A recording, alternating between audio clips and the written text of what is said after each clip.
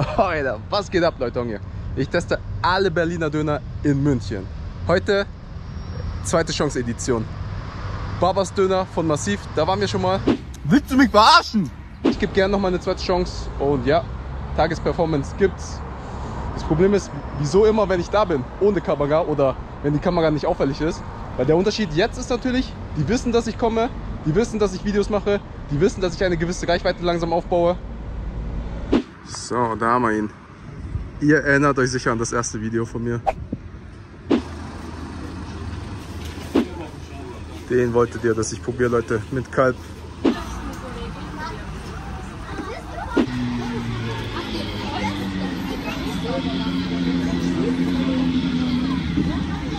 Döner-Time, Leute. Einmal Hähnchen, einmal Kalb, so wie alle es in den Kommentaren wollten. Beide testen. Hier, ich blende noch mal ein, der direkte Vergleich zum ersten Mal, wo ich hier war. Sieht ganz anders aus.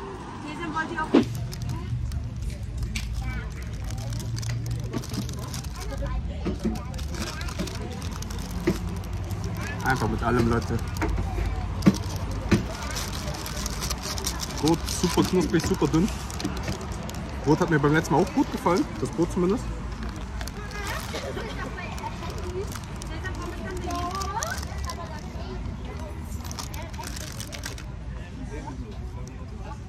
Der Biss hat Fleisch.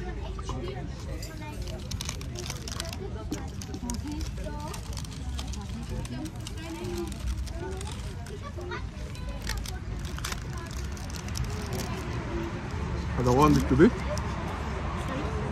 Hab auch schon einiges hier verloren. Ja. Gut gewürzt.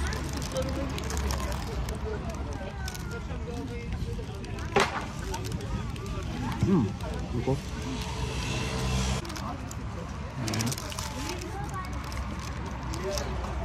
Das ist ein Oschi, Leute. Der ist echt. Beim letzten Mal, wo ich hier war, war der nicht so groß. Echt? Ich blende dir mal ein Video da rein. Man erkennt es nicht so im Verhältnis, aber der ist dreist klein. Das ist der zweite Chance diesmal hier. Soße top. Das flache Brot finde ich geil, weil kannst du so quetschen. Ja, ich kann sagen. Okay, wir hatten jetzt erst zwei Berliner Döner. Das wäre der beste Berliner Döner bisher ist in München.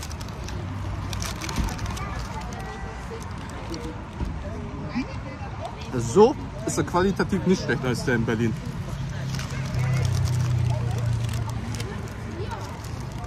Aber in Berlin ist es ja auch nicht der beste, also. Aber so ist in Ordnung. Geht auf jeden Fall klar.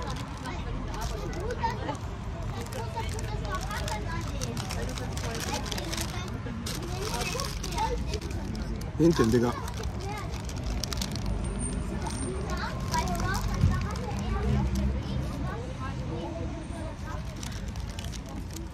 Oh, gut gewürzt das Fleisch. Ja, ich finde Hähnchen aber besser als äh, Kalb.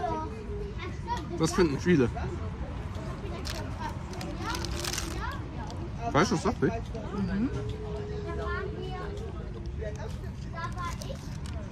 Ich würde auch sagen, ich bevorzuge Hähnchen. Das hat ein gutes Aroma. Ja. Bisschen so Grillhähnchen-Geschmack schon. Yes. Schon, Gut ja? mariniert. Gut mariniert, ja.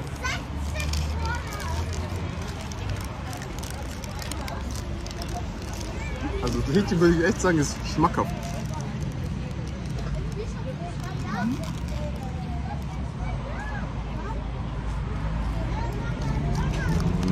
Aber fürs Hähnchen würde ich wiederkommen. Wie gesagt, das Hähnchen würde es wiederkommen. Sah am Spiel schon sehr gut aus. Sie hypt das Hähnchen. Und ja, es ist sehr gut. Das Hähnchen hat Umami, Leute. Und das ist immer wichtig. Power.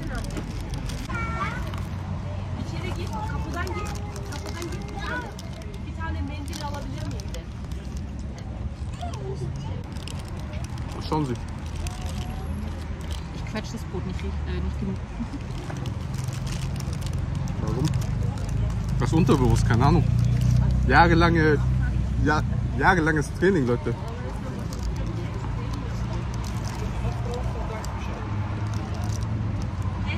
Mmh. Unten, top. Wo sich die Soße gesammelt hat mit dem Fleisch. Gut, echt gut. Knusprig, drinnen trotzdem noch Eis. Super fast Restaurant, ja? Mhm. Wie nennt man das, wenn man eine zweite Chance bekommen hat und dann gut performt hat? Oh, Frage. Also auf Englisch heißt es Redemption, aber auf Deutsch keine Ahnung. Also der hat sich redeemed, Leute. Geht's auf Google Redemption Dick CC auf Deutsch und schaut nach, was das bedeutet.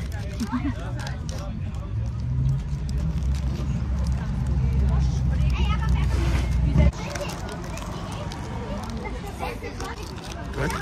So, Bonuspunkt. Ich sammle die. Habt ihr Bram aufgegessen? Ah, da ist noch viel drin. Aufessen. Feuchttuch. Das ist nicht deins. Okay, dann habt ihr hier schon mal nach. Ein Feuchttuch. Du hast eine bekommen? Du hast gesagt, ich soll irgendwas probieren. Oh ja. Probiert einen roten Kohl. Da wo der rote Kohl ist. Mit aber. Der Kohl wird gehypt. Kululu. Alo kululu.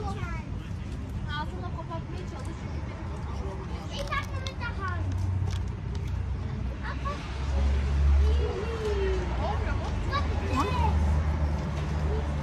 Ja, Kohl ist lecker. Ich denke mir, Hähnchen schmeckt so viel besser. Ja. Das hat echt guten Geschmack, Mann. Mit dem Kohl, mit der Säure. Richtig gut gewürzt. Gönnt solche Hähnchen, Leute. Hm. Boah. Dieses Stück hier. Mein Gott. Mit der Soße vollgesaugt. Yes. Das ist das gute Stück. Ich musste mich durch das schlechte, also das schlechte durchkämpfen. Du vertreibst. Mein bisschen ist nicht so groß. Hallo, du gibst doch ein Hühnchen. Döner? Ah ja, Hühnchen. Also sie feiert ihn, ja. Ich finde den richtig gut. Weißt Doch, doch, doch. Doch, er feiert, er den auch. Also ich sie feiert ihn besser. wirklich, wirklich. Ja, freut mich. Ich bin äh, am Anfang war ich hatte Schiss, wenn einer kommt und sagt, hey, ja, ich bin aus Berlin und so, dann dachte ich mir, also mein Partner ist Berliner, ist massiv aufgewachsen, wir sind ja hier also Massivsgeschichte. Der Heider ist mit ihm aufgewachsen und äh, dann hatte ich so in dieser, echt so auch mit Berliner Akzent, jetzt mal gucken, ob ihr echt ein Berliner Ja. seid. Und dann alle, ja, echt geil, dass ihr die Soßen habt, ihr habt es verstanden. Ich Digga, unsere Soßen kommen wirklich einmal die Woche aus Berlin, unser Fleisch Ja, okay, aus Berlin. krass. Also, ähm, ja, wir machen, also Brot und Salat kaufen wir hier lokal, der Rest Ja. kommt aus Berlin. Ja. Ich habe auch am Anfang, wo mir gesagt hat, ja, lass uns das machen, sein Kumpel massiv, ist so, Digga, Franchise und so, ich bin nicht so dafür. Ähm, und dann er so, warte, probier den Döner, und dann reden wir nochmal, du wisst, was massiv ist, nicht so diese klassische Franchise, was schon Ja. alles nach Stich und Ding. Dann habe ich mir halt den Vertrag angeschaut, habe ich mit in Nürnberg mit denen gedrückt. Ich sollte eigentlich nach Berlin den Döner probieren, und dann bin ich nach Nürnberg gefahren zur Eröffnung von Nürnberg. Habe ihn probiert, habe gesagt, okay, für München wäre es echt outstanding Okay. ich bin dabei. Und dann haben wir auch das vertragliche, waren die echt entspannt. So, okay, das streichen wir, okay, das ändern wir. Also da waren, die, da waren sie echt fair. Sie sind auch so in der Kommunikation nicht so ein Klasse. Ich bin seit 18 Jahren bei Coca-Cola. Ich weiß, wie Franchise-Systeme sonst auch behandeln oder drücken. Oder ich muss sagen, alles viel klar, die schlagen, verdienen auch ihr Geld. Ist auch- klar. Ja, klar. wir arbeiten für die mit. Aber das hat uns am Anfang geholfen, das mit anzuschauen. Ich glaube, 70 Prozent unserer Gäste wissen nicht, wer massiv ist. Die kommen einfach, weil, weil es schmeckt und weil, weil die das gerade, also ich bin, ich bin selber Kroaten, auch viele so Jusos und so. Manchmal fragen die mich, hey, wer ist denn das? Ich höre hier irgendwas Rap bei das ist ich so, schmeckt dir der Döner? Und so, ja, ja, dann passt das. Also, ja, ja, ist mir auch wurscht. Und so, es kommen auch Kiddies an, hey, dann kommt massiv wieder und so. Ja, folgt uns auf Instagram, sagen wir Bescheid. Klar, klar, klar. Hände sehr gut. Also ja, wie, wie es halt läuft seit, seit der Eröffnung. Also zufrieden oder? Ja, absolut. Ja? Also, wir haben am Anfang gedacht, so ein Eröffnungshype und dann es ab. Das ist nicht passiert. Wir haben, äh, unser Hauptproblem ist Personal. Das ist wirklich massives. Ich habe ja drei Läden. Ich habe überall Personalprobleme, hier am meisten. Das habe ich auch nicht erwartet. Weil mein Partner, der ist selber der nee, ich habe Personal, wir stellen das Ding. Es kommen so viele Leute, die labern und die sagen, ich habe Döner-Erfahrung. Manche gehen nach zwei Tagen so, weil sie bei uns wirklich arbeiten müssen. Der Fisch stellt sich für selbe Geld lieber in so einen Seitenstraßenladen, der halt Äh. einen Bruchteil Ja. von äh, andere schmeißen wir raus, weil sie, wenn ich ihnen achtmal sage, mehr Fleisch rein, weil ich ihnen achtmal sage, erst die Soße, dann wenn die es gewöhnt sind und die es halt nach drei Tagen immer noch nicht verstanden hast, Ja, das dass es das Konzept ist, dann, dann funktioniert es halt leider nicht. Äh, oder ich sag, ich habe Ärger mit dem Center, dann unser Lager ist im Lona Center. Wenn ich ihnen achtmal sage, Speisereste und Speisereste, Papier zu Papier. Heute, gestern kriege ich wieder eine E-Mail, drei Säcke Müll im falschen Ding, sie kriegen eine Rechnung über die Reinigung der Tonnen und so weiter. Dann habe ich gestern auch gleich eingesetzt. Ah, das ist scheiße, ja. das ist echt schade. So, das ist wirklich anstrengend. Ich habe 20 Kilo abgenommen seitdem. Maschallah. Gratulation. Äh, nicht mit Absicht. Also, schadet mir sicher nicht. Er hat ihn zumindest aufgegessen. Also der Ja, mach mal, er, er fertigt noch meine, keine Sorge. Wow. Hier, Sack Brown. Eineinhalb, okay? Oder weniger als eineinhalb. Wir checken noch ein Bubble Tea ab. Alle Bubble Tea in München müssen probiert werden. So. Was haben die denn hier? Und Jelly Rainbow. Oh, fruchtig heute.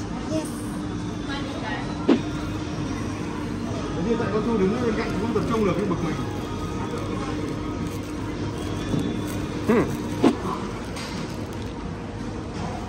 Okay, okay, okay.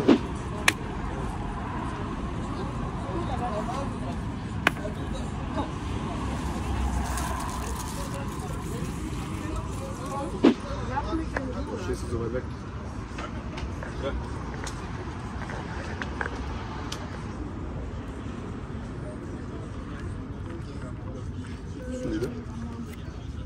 Wir hatten schon schlechter, gell?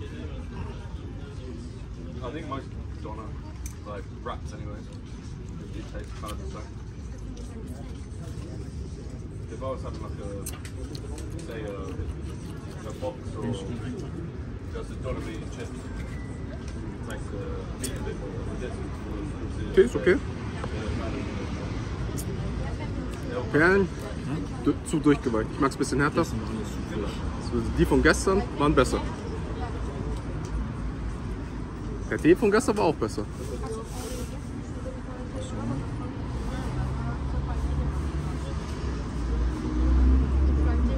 Kann man trinken. Ich werde es nicht wegschmeißen. Ja. Babas Döner von Massiv, beziehungsweise Franchise von Massiv, war tatsächlich gut. Vor allem Hähnchen kommt in meine Top 5 München momentan. Ranking hier. Es ist schwer zu beurteilen, denn extra Treatment. Ich war schon mal dort, keiner wusste, dass ich komme, keiner wusste, wer ich bin. Katastrophendöner. Sogar Frechheitdöner. Jetzt mit Einladung, geht auf deren Nacken. Hey, der macht äh, TikToks, Videos, YouTube, Instagram und so. Okay, Chef persönlich, macht den Döner für mich. Man merkt eine Differenz. Aber Fleisch an sich war top. Tatsächlich. Und für die Qualität, also für die Konsistenz, wie solide der regelmäßig ist, kann ich nicht garantieren. Ich kann nur das beurteilen, was ich bekommen habe. Beim ersten Mal schlecht, beim zweiten Mal gut. Das war's von mir, Leute. Ah ja, und Bubble Tea in, im Olympiazentrum. Ja, kann man machen. Ist jetzt nichts Besonderes. Wir hatten schon schlechtere, sehr viel schlechtere. Dementsprechend unterdurchschnittlich, aber immer noch besser als die schlechtesten. Das war's von mir. Wie mal liken, subscriben, kommentieren. Checkt die auf. Folgt mir gerne auf Instagram, TikTok und meinem nicht aktiven Zweitkanal der Mine. Aber demnächst muss ich sogar ein Video hochladen, weil ich habe da eine, ja, einen Vertrag, sag ich mal. Serious Business und ciao.